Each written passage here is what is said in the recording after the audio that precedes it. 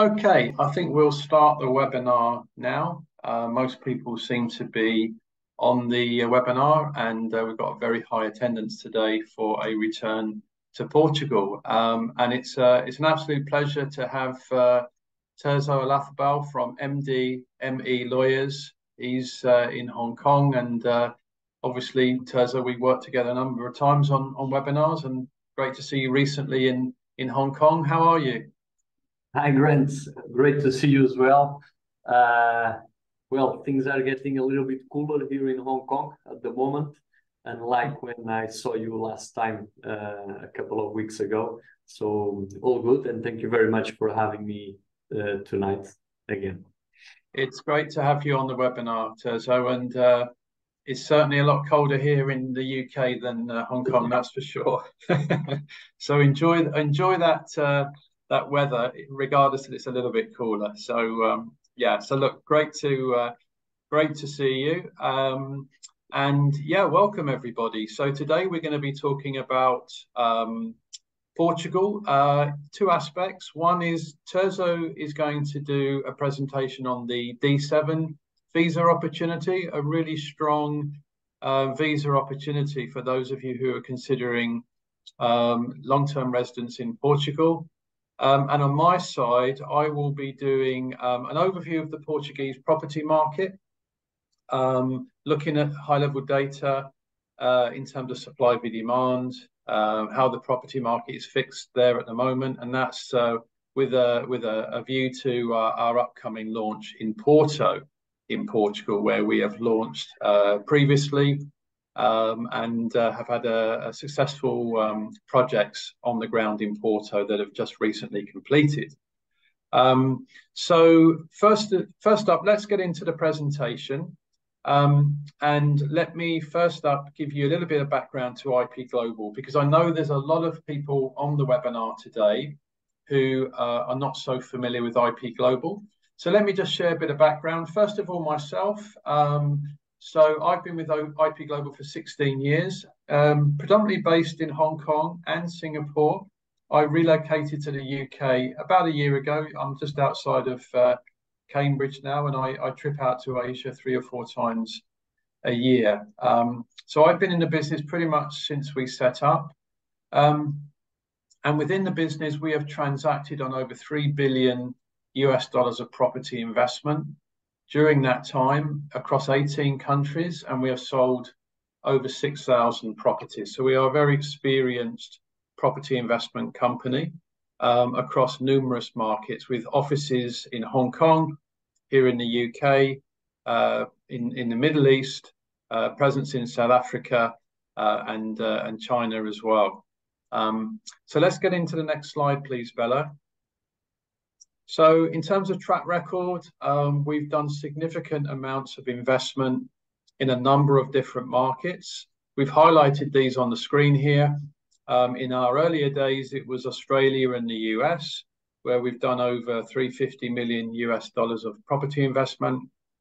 Right now, our focus is Portugal, it's Germany, and it's the UK. Germany, we've done over 150 million USD of property investment a great uh, market with tax benefits. Um, the UK um, is our biggest market where we've done over 115 projects since 2009. That's just under 2 billion US dollars of property investment. Next slide, please, Bella. So the key aspect of the business is the business model. Um, it's quite a unique business model. Um, we are not a marketing agent. We actually underwrite our deals, our property deals. What does that mean? Well, what that means is when we identify an opportunity, we get into price negotiation with, with developers. If we agree pricing, we actually commit capital. So we put down large deposits on each and every unit we secure. Um, and the developer builds the project and we sign a legal agreement carrying the sales risk. And that means that whatever we haven't sold to our clients by the time the building is built, we have to buy with our own capital. So clients know that if they don't purchase, we have to purchase anything that's not sold. So that gives us very strong credibility that we genuinely believe in our product. Um, But, but in essence, because we are putting down large amounts of capital at outset, and we're not a multinational business, we have a limited amount of funds. So we need to be very diligent where we invest that money. So we rely heavily on our research team to bring the best opportunities, and consequently, we don't do many projects. It's very much we are very selective on what we launch before we come to market, and we try to de-risk our opportunities as much as we possibly can. Um, so next slide, please, Bella. So once we launch a project, we can introduce the client to the lawyers. We have access to uh, mortgage financing. We can do everything around the lettings and management process, and actually, we can also eventually sell the property that the client has purchased from us at the appropriate time. So it is very much an end-to-end business model, and we've got around about 30% of our clients have got more than one property with us. So it's very much about trying to build a strong long-term relationship with our investors. Next slide, please, Bella. Okay, so here's the um, uh, the menu for today in terms of the uh, presentation. So Terzo will shortly um, be talking about um, the D7 visa, the opportunity with the D7 visa, and how that works. I will be giving a quick high-level overview of the Portuguese housing market ahead of our new launch in Porto, and then there'll be a chance for Q&A at the end of the webinar. Um, so at that point, if I hand over to uh, Terzo to um, provide um, a bit of background to the D7 visa. And as I say, just to share with you, I've worked with Terzo for many years. He's been in Hong Kong for many years, helping many clients with regard to visas in uh, in Portugal, and it's great to have someone with his experience on the call today to share details on this opportunity. So again, Terzo, thank you for joining, and I'll hand over to you at this point. Thank you very much. I think um, we can pass this first slide. Uh, yeah, so uh, um, just to to briefly uh, let you know that I am a partner at MDME Lawyers. I'm heading our private client practice, okay? Um, and um, we focus mainly on foreign uh, investment into Portugal, uh, which includes uh, tax planning, real estate investment, and immigration matters, such as visas of all types of visas that involve Portugal. Um, I think that we can pass to the next slide. We are going to talk today about the D7 visa. The D7 visa is just one of the visas that uh, exists in Portugal. Uh, the D7 visa is uh, commonly known as a retirement visa or um, a passive income visa. It was created in 2007 by the Portuguese government, and it allows non-EU citizens to get Portuguese residency, provided that they can prove that they have a certain level of uh, uh, passive income. Um, so as I told you before, this is ideal not only for retirees, but also for all of those that are not yet retired, but have a sufficient amount of passive income that will allow them to apply for uh, for this visa. Um, the D7 applicant, well, is entitled to apply for a temporary residency permit, okay? Which uh, can then be converted to a permanent residency after five years, or even to apply for full Portuguese citizenship after five years of holding this D7 visa.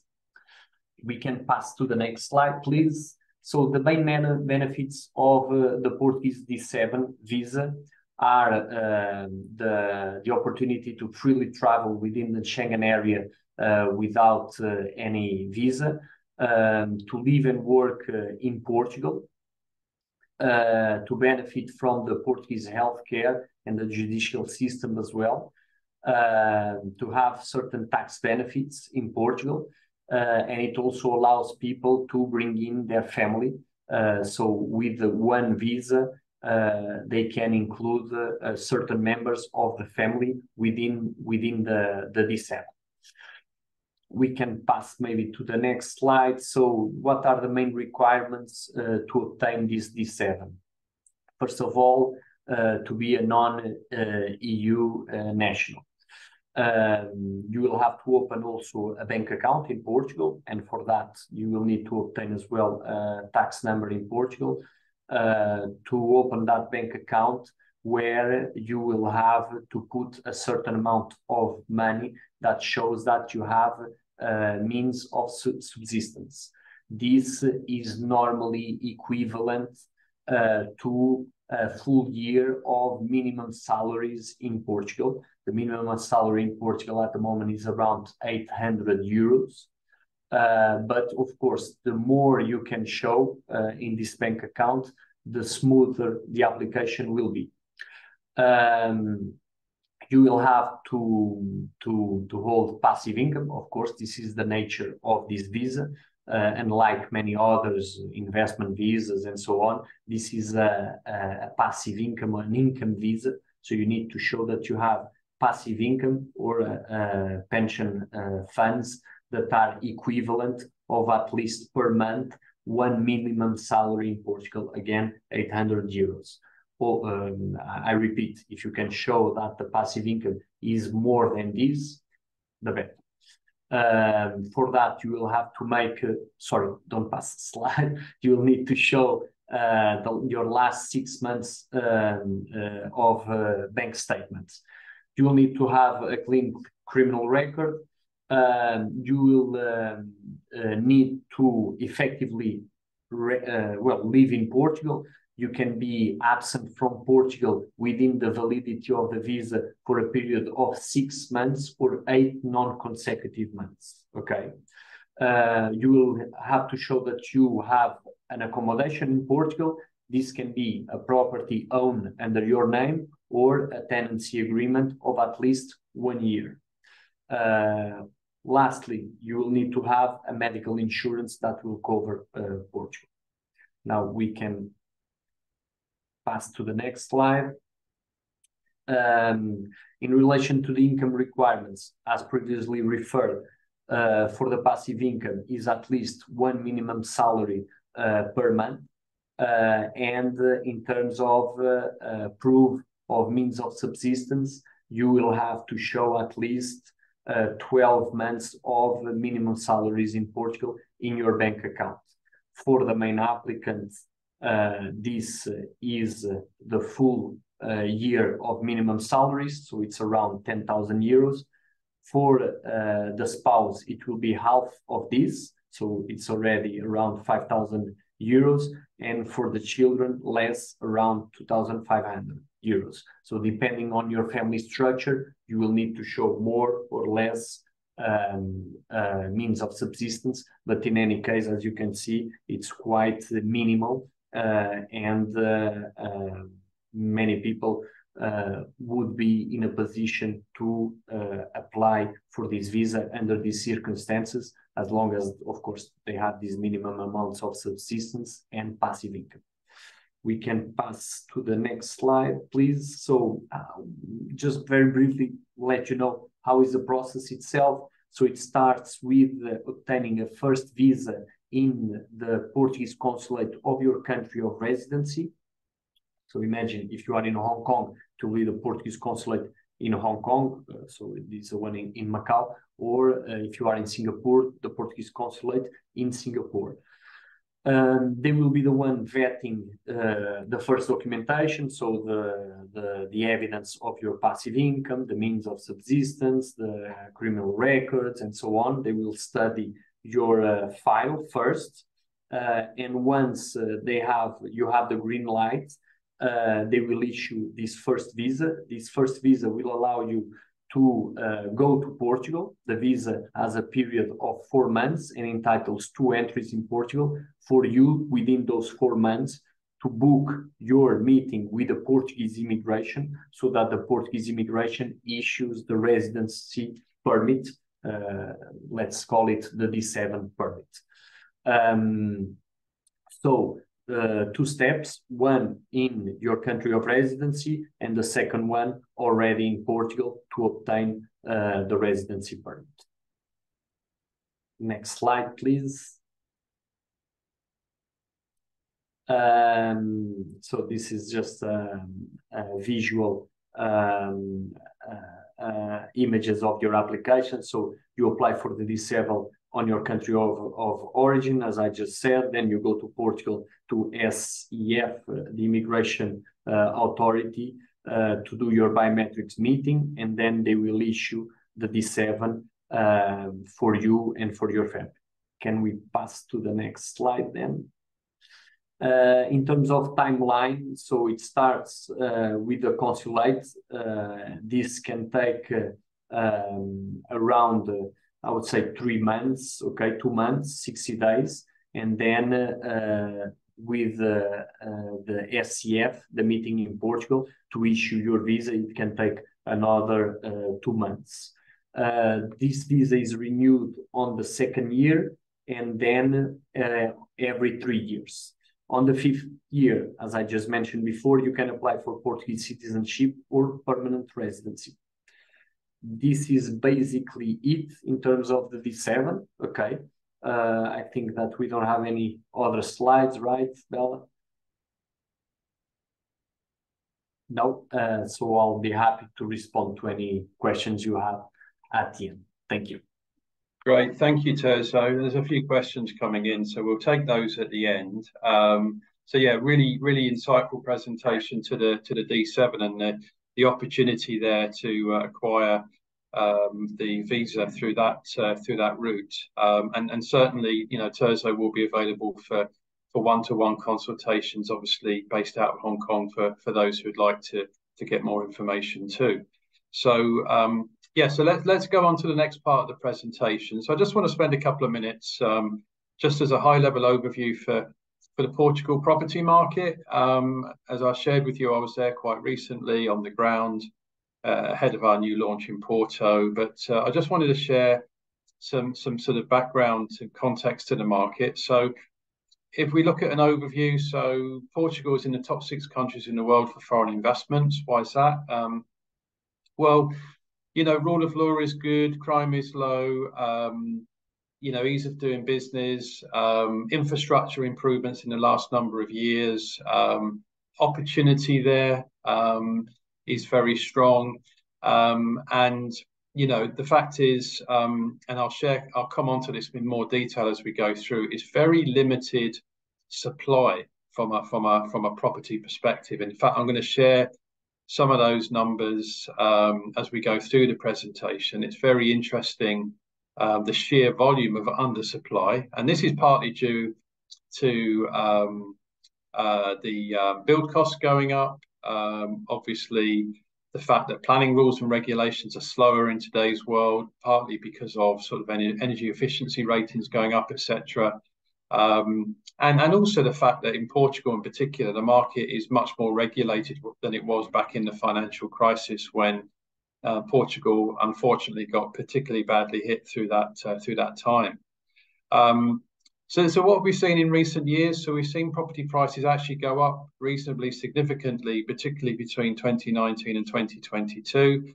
Um, you know, that was partly if you bear in mind that so many countries rebounded quite quickly after the financial crisis, Portugal took a lot longer. You know, you've had various impacts, for example, the golden visa that's impacted on property prices, etc. And we've seen some significant growth in recent years. But actually, there's been a there's been a report um, by the University of Munich recently in Germany, stating that they expect that the Portuguese property market, believe it or not, will average around about 8% per year over the next 10 years, uh, particularly in the major major cities such as Lisbon and Porto. Um, and that is kind of linked to um, the severe shortage of property being built. And, and certainly, I think we see a lot of the growth coming from the influx of overseas migration, etc., good net worth individuals buying property. And, and, and obviously, this is impacting on on property prices. Um, so let's um, let's go into the next slide, please, Bella. Um, so yeah, it is quite um, fascinating the amount of undersupply in the property market. Now, bear in mind, obviously, Portugal, population of 10 million people. Um, up until sort of uh, between Jan and September 2022. In terms of house building, we only saw 14,000 new houses built during that period of time, which actually only represented a, a growth of around about 1.6% compared to the previous year. Um, and indeed, building permits for residential properties also experienced a 0.7% decline compared to 2021. So, you know, we're talking about significant undersupply versus the demand for property, the amount of sort of population movement towards Portugal that's not only come from, for example, golden visa, etc., but also comes from uh, other EU countries under the freedom of movement and, and individuals moving from, you know, be it Holland, France, Germany, etc., into major cities, investing in major cities um, into into Portugal. Um, so if we go on to the next slide, please, Bella. So this is this for me is one of the key key slides here, and it's one of the reasons why over the long term we see very strong opportunity for growth uh, in property in Portugal. If you have a look at some of the stats here, it's quite amazing. So if you look at housing production in Portugal, in 2002, there were 120,000 residential units uh, built. Between 2013 and 2022, the same level, 120,000, was built over the whole of that nine year period.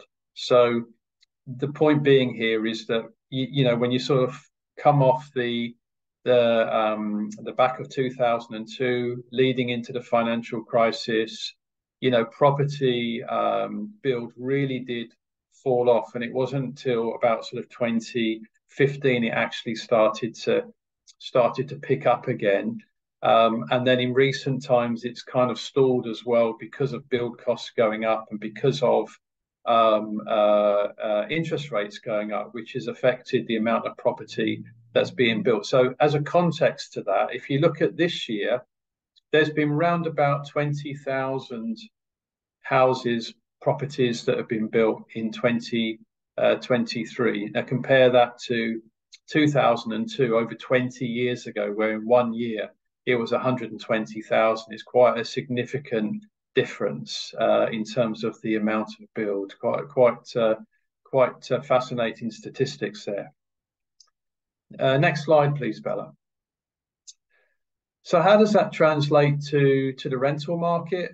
Um, well, you know, with, with limited supply and high uh, demand for housing, particularly in the major cities such as Lisbon and Porto, we've seen very, very strong rental increases between the last year or so. So this stat pulls up between September 2022 and September 2023. And and and you know we are we are very um, close to these type of statistics because we've recently had a project, for example, completing in Porto, so we're very familiar with how rents are um, uh, tracking upwards. So believe it or not, the biggest house rents um, between September 2022 and 2023 September in Porto, 34.6% increase, um, and in Lisbon, 32.9%. And there's a graph there which kind of tracks how it's gone over the last number of years. But as I say, in particular,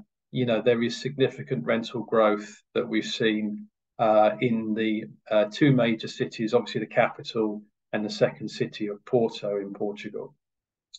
Next slide, please, Bella. So in terms of housing prices, what's impacted? Well, we talked about, you know, the previous growth. I think this year it's fair to say we've seen prices moderate.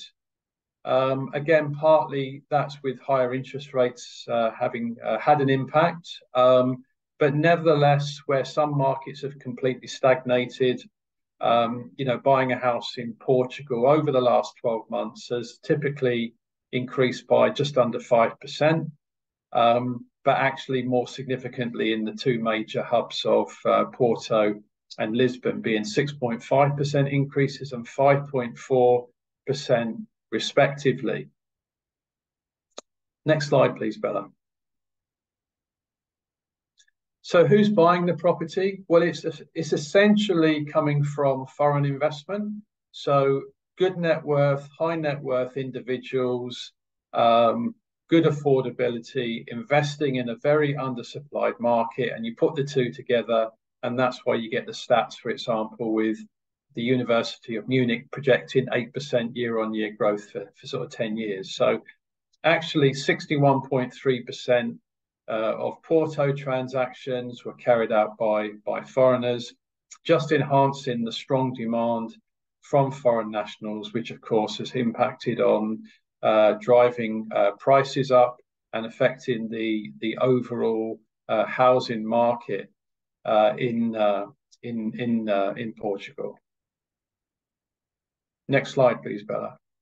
Okay, so just just before I um, sort of come to questions, um, and um, that there's a few coming in, obviously for myself and Terzo. So I just wanted to um, just to pause uh, in terms of the uh, the other areas we're investing in. So here in the UK, uh, there's a strong focus. Yesterday, we've seen inflation go down to 4.9%. Um, as uh, FYI, that's halved in the last year. So we're starting to see um, talk of interest rate cuts in 2024. Um, and then across the country, where we're investing is um, projects in uh, Manchester and Sheffield that are completing quite soon, and projects in Edinburgh, Oxford, and York that will be completing over the next year. From from overseas, um, we're starting to see the currency stabilise here in the UK, um, and therefore um, potentially the currency has reached uh, the bottom for overseas investors, which is why we're seeing a lot more inquiries for UK property now, and also given the strong rental market here. And then if I just touch on our, our second market, um, if we go on to Germany, so again, we talked about the supply crunch in uh, Portugal. It's exactly the same in Germany. Um, Germany typically has had 400,000 homes built between 1960 and 2020. This year, it's fallen down to 250,000 homes, a 40% drop just over the last couple of years. And again, it's it's due to um, slow planning rules, German um, high efficiency ratings for energy, uh, energy efficient ratings to be very high in German property, which means that it's a, it's a much more um, slower process to get build sign off. Um, and um, you know that's impacting on the amount of stock that's coming to market. And of course, interest rate rises and build costs have impacted on property coming to market. So we um, we're very positive on Germany, and we're focusing on um, Berlin and Leipzig uh, as our, our, major opportunities. Um, and again, on here, if you'd like further information on Germany and the tax advantages there, uh, I'll be happy to share those with you. Um, and then finally, if we come on to Portugal, so we will be launching in Porto soon. We're launching here um, because of the fact that um, we've done earlier work in Porto. We've had a very successful um, first project. The units have rented out very quickly on two and three year contracts at um, very strong rents, um, as, as shared in this presentation. And actually, as I shared with you, because obviously higher interest rates have impacted this year. We've been able to really buy in at a good time here. And as I shared with you, we underwrite these deals. We put our capital in, we bulk purchase. So we've managed to get some better value at this time, just as there is talk of interest rates coming down in the Eurozone next year. So we feel it's a really good time to re-enter the market on numerous levels. This project is just north of the city centre. It's a short hop into the city centre. Um, and in Portugal, there is great long-term low interest rates of around about 4% currently on offer too. So watch this space for that uh, new launch. Um, and as I say, do let me know if you've got further questions on any of these projects after the webinar. Um, so at that point, we'll go to questions because I know there's a few questions that are that are now coming in. Um, so I think there's there's one or two here for for, for Terzo first up that's uh, that's coming in. Um, the first one is so um, someone asked Terzo, is there a difference between the D7 and buying uh, property uh, previously when you could do for the golden visa?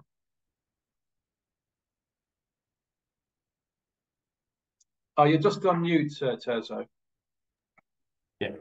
Um, so uh, for the for the D7, um, uh, the D7, the nature of the D7 is not an investment visa. Okay, so for you to understand, uh, there is no requirement per se of purchasing the property. Okay, normally people do because they go and live in Portugal and they buy their own properties. Okay, so there is no restriction whatsoever in terms of where that property is located and on the amount of uh, on, on the investment on the price of the property. So you are entitled to buy a property in Lisbon, for example, or Porto, uh, and uh, uh, that property that was no longer available under the golden visa, as you know, because residential properties in Porto and Lisbon were excluded from the golden visa. So you can do it with the D7. And you don't need to buy a property at a certain limit amount of, of, of price point. You can buy a property that you like at any price, whatever you you you want it to be. Okay. I think that's a couple of really good points. You, the fact that you don't have that capital amount, you don't have to buy physical property. Um, you could have a 12 month uh, rental contract instead. Um, and um, yeah, I think that's um, uh, a really important point. And, and of course, the, the actual uh, amounts of income you require, Terzo, are actually relatively low, aren't they? Correct. So, uh, as I mentioned during the, the presentation, it is linked to the minimum salary of Portugal. The minimum salary per month in Portugal is uh, 800 euros, okay, which is quite minimal, around 800 euros, 820 starting now in 2024. Uh, and the passive income is linked to that amount per month and the means of subsistence as well uh, on a on a yearly basis.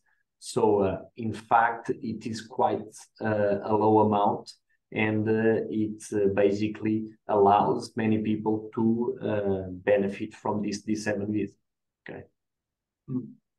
Okay, and then the next question is: um, Is there any sort of particular tax advantages to the to the D7 visa? Someone's asking. Well, the particular tax advantages on the D7 visa. Um, until now, we still have the, the NHR uh, tax regime, okay, which is still being negotiated under the budget law, which is going to be approved by the end of this month, whether it is going to be maintained, changed, or uh, revamped.